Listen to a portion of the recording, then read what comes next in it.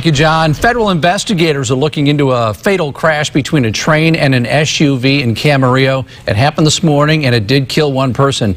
News Channel 3's Kelsey Gerkens joins us live from Camarillo. And Kelsey, you're near the crash site. CJ, investigators are trying to figure out exactly what happened here. At this point, investigators are saying that a man driving an SUV actually drove into a freight train while it was in motion, and he died there at the scene at Las Posas and 5th Street. Now, Officer David Webb with the California Highway Patrol says a 57-year-old Rialto man was driving his new 2014 Ford Explorer south on Las Posas when he hit the side of a freight train carrying lumber.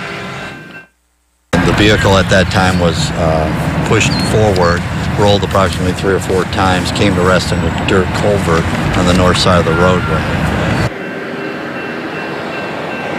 The vehicle was so mangled, rescuers had to cut the vehicle apart to get the driver out. He was declared dead at the scene, and no one else was in that SUV. And three people aboard the 13 car freight train were not injured.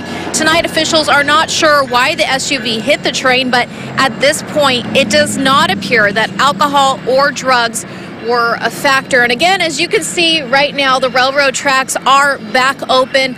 All road closures have also been lifted in this area around Las Posas. Reporting live near Camarillo, Kelsey Gerkens, News Channel 3. Okay, thank you.